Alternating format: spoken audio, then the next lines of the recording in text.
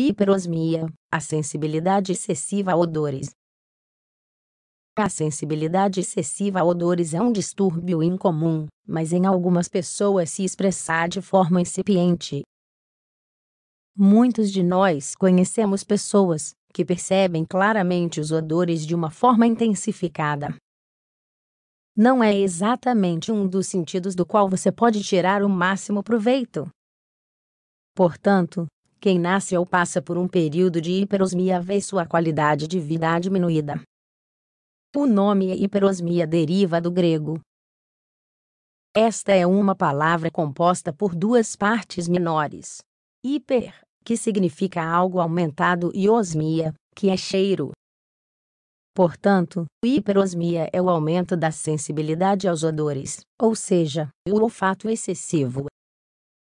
Não deve ser confundida com o aumento da sensibilidade mais comum, como o que ocorre na gravidez, na hiperosmia diagnosticada, ocorre uma diminuição do limiar olfatório. A redução do limite reduz a concentração de substâncias necessárias no ar para detectar o odor.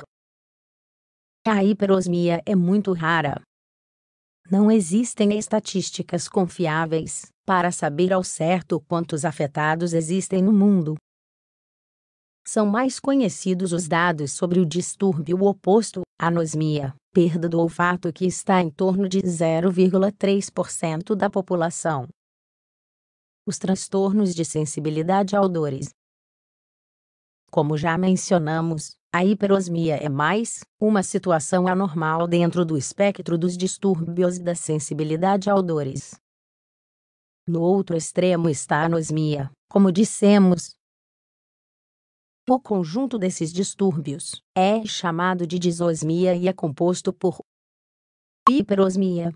É a situação que analisaremos neste artigo, uma sensibilidade excessiva aos odores. Parosmia é outra condição rara, em que o cérebro não identifica os odores corretamente e atribui uma característica a outra, um perfume agradável pode ser considerado desagradável por essas pessoas. Fantosmia é uma alucinação do olfato. Quem sofre desse transtorno acredita sentir o cheiro de algo que não está realmente ali e que, na realidade, seria possível perceber. Anosmia é a falta de percepção do olfato Causas fisiológicas da hiperosmia. O aumento da sensibilidade a odores pode aparecer em situações fisiológicas, ou seja, no curso de eventos normais. Para muitos especialistas, não deve ser chamada de hiperosmia nesses casos, mas de sensibilidade aumentada. O melhor exemplo é a gravidez, Principalmente no primeiro trimestre da gestação, as mulheres aumentam a percepção dos cheiros, a ponto de um simples aroma poder provocar as náuseas típicas desse período. A evolução normal e natural da hiperosmia da gravidez é que ela tende a desaparecer com o passar das semanas. São os mesmos movimentos hormonais que determinam seu aparecimento e seu posterior desaparecimento. Em algumas mulheres grávidas, os sintomas acompanham por nove meses. São casos excepcionais que podem estar associados à hiperemese gravídica, que se manifesta com vômitos repetidos e risco de desidratação. Duas outras situações fisiológicas de aumento da sensibilidade aos odores são a menopausa e os horários antes das refeições, na menopausa, a explicação se dá novamente pelas alterações hormonais. Antes das refeições, por outro lado, o aumento da sensibilidade aos odores é um fator instintivo que estimula o apetite. Causas patológicas da hiperosmia. A rigor, a hiperosmia é diagnosticada quando a sensibilidade aos odores é aumentada por razões patológicas, entre essas causas, temos tumores cerebrais, Se o desenvolvimento de um tumor no cérebro estiver localizado nas áreas que regulam o cheiro, ele pode afetá-lo. Fibrose cística.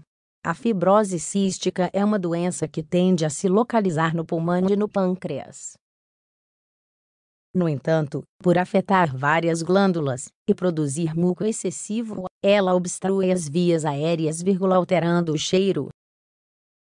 Hipertireoidismo uma associação entre hipertireoidismo e hiperosmia foi encontrada quando as duas patologias estão enquadradas na doença de Graves Basedou. Doença de Lyme. Esta patologia é uma infecção por uma bactéria. Um microorganismo se insere no corpo humano por meio de picadas de carrapatos, os sintomas gerais lembram os da gripe. É, entre os sinais, destaca-se a possibilidade de desenvolver hiperosmia. Deficiência de vitamina B12. Quando os níveis de vitamina B12 caem, o sistema nervoso é afetado.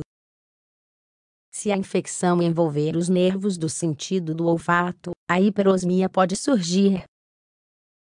Enxaqueca, Antes do ataque específico de enxaqueca, há casos que começam com uma aura. A aura envolve uma série de sinais que antecipam uma enxaqueca. Entre esses sinais, um exemplo é o aumento da sensibilidade aos odores.